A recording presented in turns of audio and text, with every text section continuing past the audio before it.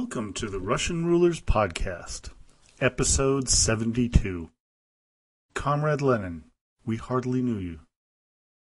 Last time, the Bolsheviks were faced with three major crises once they gained power in November of 1917. The first, ending Russian involvement in World War I.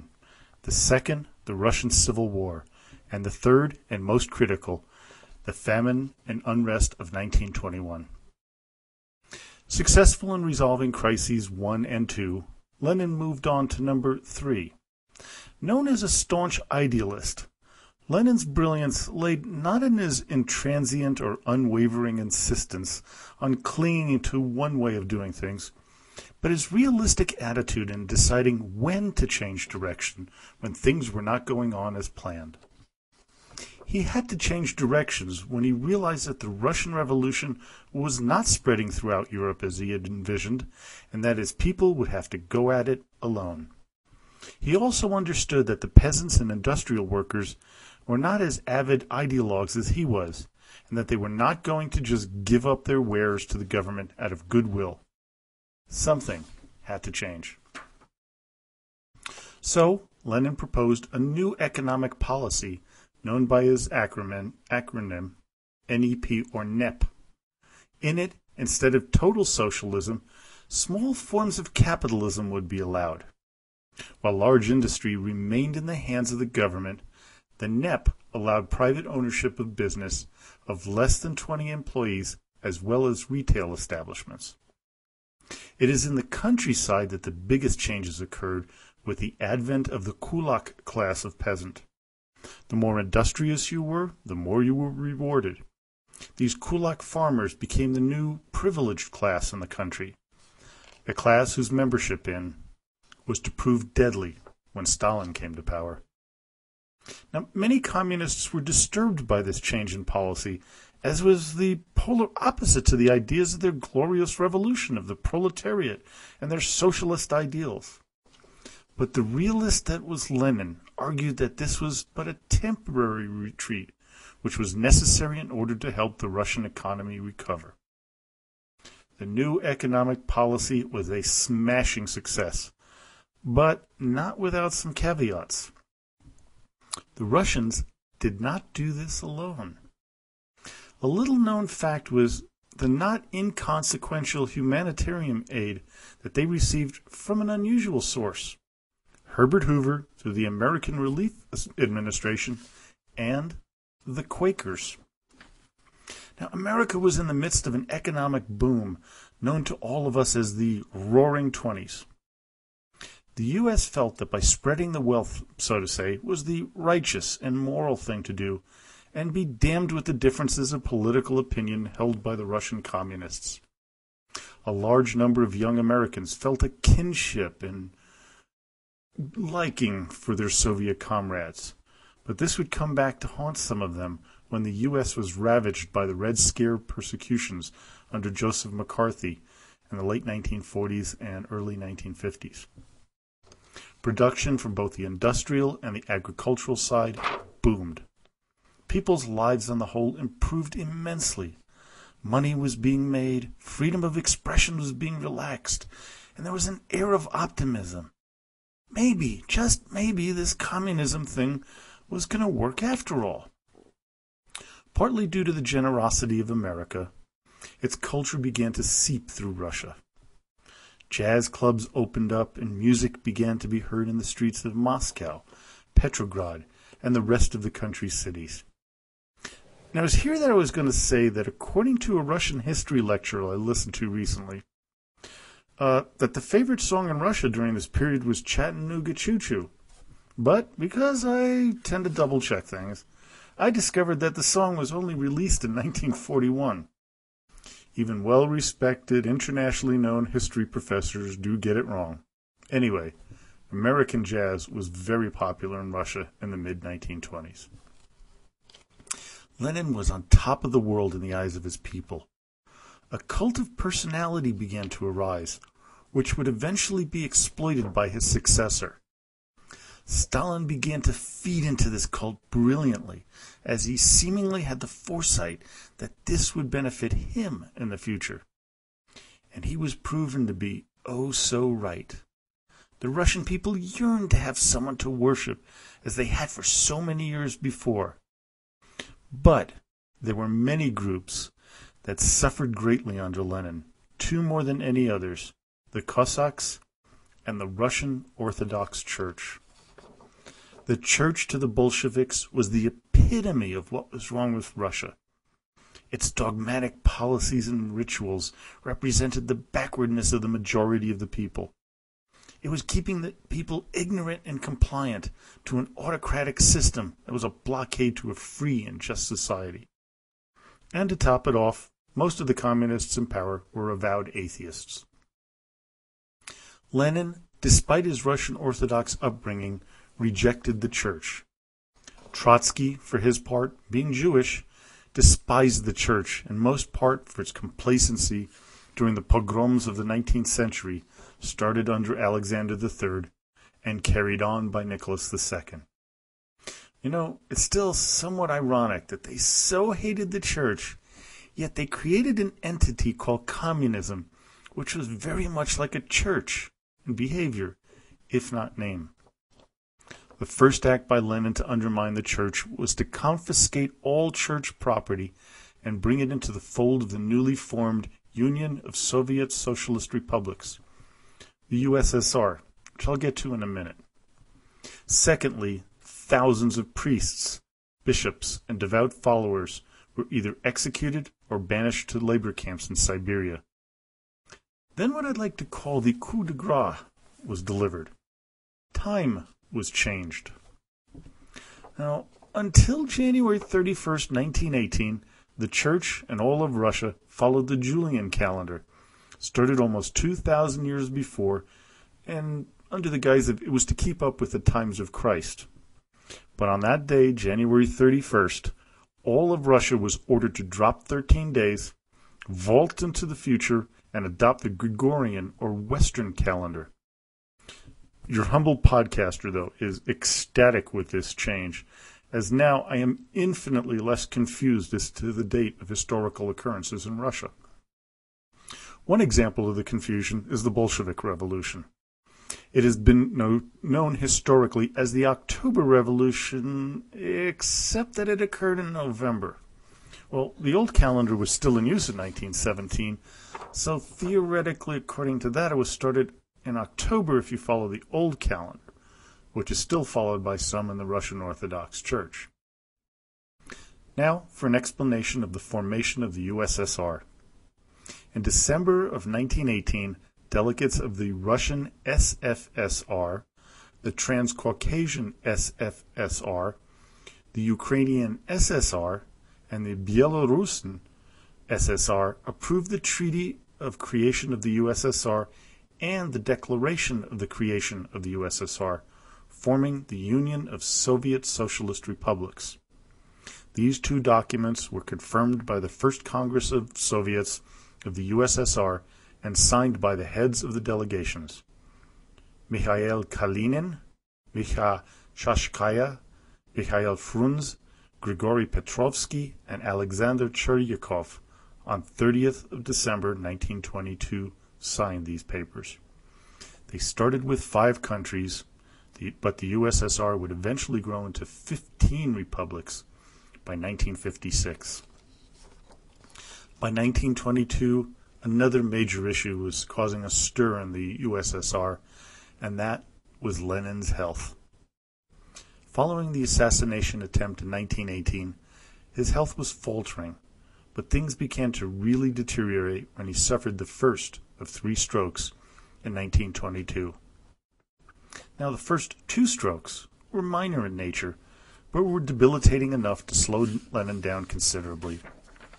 The Bolshevik High Command, led by the likes of Trotsky, Kamenev, Zinoviev, and Stalin, downplayed the situation to the public. Comrade Lenin was ill, but he was still at the helm, powerful in his conviction to lead his people and the world to a glorious future. Behind the scenes, there was an unquiet feeling that Lenin was not long for this world, and the major players were jockeying for position to take over when the eventual death of the great leader occurred. At this time, two factions were being created the left, led by Trotsky, and the right, led by Zinoviev and Bukharin. Stalin brilliantly stayed back on the sidelines, although leaning to the right because of his deep dislike for Trotsky. The battle for ideological control of the Communist Party was the utmost importance as Lenin's health was deteriorating rapidly. In 1922, the Cheka was disbanded and replaced by the GPU. New powers were given to the new secret police, the most important being the right to arrest party members. This was to give Lenin and later Stalin the ability to quash any dissent Felix Dzerzhinsky was to lead the GPU as he did the Cheka. Stalin was now appointed the General Secretary of the Communist Party with the express intent of getting rid of the party and pesky dissenters. He took to this new job with zeal. He removed anyone who questioned Lenin's policies and replaced them with people loyal to himself. This was to aid Stalin in gaining control of the country after Lenin died. Lenin, knowing that his health was failing, began to write something known as the Testament, where he evaluated each of his successors, or the potential successors. He knew that two main players after his death would be Stalin and Trotsky, with secondary players being Zinoviev, Kamenev, Bukharin, and Pyatakov. Here is what he had to say about the two big boys. Quote, Comrade Stalin, having become General Secretary, has concentrated unlimited power in his hands, and I am not convinced that he will always manage to use this power with sufficient care. On the other hand, Comrade Trotsky, as is shown by his struggle against the Central Committee in connection with the question of the People's Commissariat of the means of communication, is characterized not only by outstanding talents. To be sure, he is personally the most capable person in the present Central Committee, but he also overbrims with self confidence and with an excessive preoccupation with the purely administrative side of things. Lenin castigated Zinoviev and Kamenev for their behavior during the November Revolution, thought Bukharin too scholastic and not Marxist enough, and Pyatakov as being too administrative. Robert Service, in his book Lenin, a Biography, a book I highly recommend, had this to say about Lenin's testament quote, The hypocrisy here was stunning. Lenin, too, had ruled with insufficient care, Stalin, had been addictive, addicted to administrative methods, Trotsky and Pyatakov, had opposed revolutionary over optimism, Zinoviev and Kamenev, and had exhibited a dubious grasp of Marxist orthodoxy, Bukharin. Yet Lenin now contended that only his comrades were guilty of these inadequacies. By now, though, Lenin was trying to get rid of Stalin, and Stalin knew it. Lenin went on writing about how things should be done, and in the letters he constantly criticized Stalin. Lydia Fotieva, a secretary to Lenin, took down the following from the, from the leader. Quote, Stalin is too crude, and this deficit, which is entirely acceptable in our milieu and in relationships among us as communists, becomes unacceptable in the position of General Secretary. I therefore propose to comrades that they should devise a means of removing him from this job and should appoint to this job someone else who is distinguished from Comrade Stalin in all other respects only by the singular, superior aspect that he should be more tolerant, more polite, and more attentive towards comrades, less capricious, etc. Lenin then urged Trotsky to challenge Stalin for power, but Trotsky foolishly turned him down. Stalin, for his part, kept his cool external facade, but he was seething inside. Lenin, though, had suffered a third stroke, which left him totally debilitated. In Moscow, the two sides began to make their move. Trotsky published his work, The New Course, which was critical of the party and their bureaucracy. Stalin, Kamenev, Bukharin, and Zinoviev stood united against Trotsky. The 13th Congress was held in early January 1924, and Trotsky and his left wing were crushed. Lenin was lied to was told everyone was unified. But then, on January 21st, 1924, less than seven years after the revolution, Vladimir Ilyich Lenin died at 6:50 p.m. with Bukharin in the room. Bukharin said, quote, "When I ran into Ilyich's room, full of doctors and stacked with medicines, Ilyich let out a last sigh. His face fell back and went terribly white. He let out a wheeze. His hands dropped. Ilyich, Ilyich was no more. Now the battle for control of the USSR was to start in earnest. Join me next time to follow the rise of a man whose brutal, murderous reign would dwarf that of any Tsar before him, Iosif Vissarionovich Djugashvili, Joseph Stalin. Now, today's featured individual came down to two people Mikhail Kalinin, who signed the document creating the USSR, USSR and Felix Dzerzhinsky. I picked the latter as he was to die 20 years before Kalinin, and he was instrumental in both Lenin's tenure and Stalin's. Born Felix Edmundovich Dzerzhinsky on September 11, 1877, in the town of Ivanets in present-day Belarus. He was the son of a noble family, and his father was a teacher of physics in Taganrog, Russia, where Alexander I had supposedly died. His father passed away when he was just five years old, and his family decided to move back to Ivanets. Felix was a very bright young man, fluent in Polish, Russian, and Hebrew. Early on, he was interested in revolutionary ideas and was expelled from his school a few months before graduation. By 1896, he was already deep into Marxist theory, helping to find, found socialist groups in Lithuania and Poland.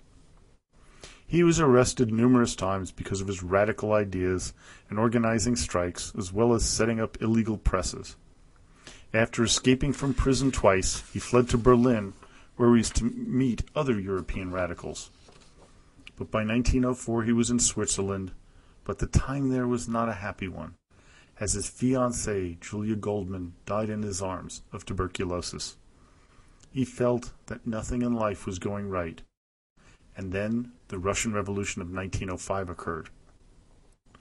Although the revolution eventually failed to topple the Tsar, and Dzerzhinsky was again arrested, he had a new meaning in life. He escaped from prison yet again which led many to believe that he was a double agent, giving information to the Tsarist secret police, the Okhrana, as well as agitating for revolution. This is highly likely and would have been his doom had he lived longer.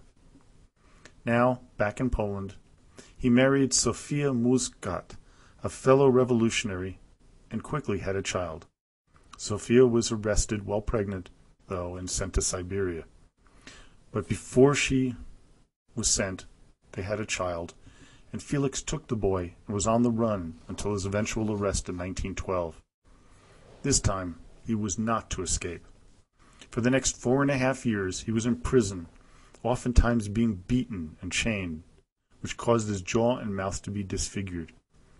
It also hardened the man, who was to be known as Iron Felix. Released from prison after the 1917 revolution, Dzerzhinsky joined the Bolshevik Party and became a member of the Central Committee, as well as an enthusiastic backer of Vladimir Lenin. Lenin, for his part, viewed Felix as a key element in his plans for the future, as well as a revolutionary hero. In December 1917, Dzerzhinsky became the head of the dreaded secret police organization, the Cheka. As head of the Cheka, Dzerzhinsky had tens of thousands of people executed as purported enemies of the revolution. He was not above using torture to extract confessions from prisoners, as well as having them implicate others. Nothing was out of the question in protecting the revolution, according to Felix. In 1926, after Lenin's death, Dzerzhinsky was giving a two-hour speech to the Bolshevik Central Committee denouncing Trotsky, Zinoviev, and Kamenev. Shortly after the speech, Felix Dzerzhinsky died of a heart attack. Stalin, of course, eulogized him and made him an object of hero worship, something he was to do a number of times in the future. According to Montefiore in his book Stalin, The Court of the Red Tsar, Stalin said of Dzerzhinsky, he was a devout knight of the proletariat. Knowing Stalin, though, had Dzerzhinsky not died then, a bullet in his head ordered by Comrade Stalin would have been his fate. Well, I hope you enjoyed today's podcast. Please join us at the Russian Rulers Facebook site to ask a question, leave a comment, or make a suggestion. And as always, до свидания и спасибо большое.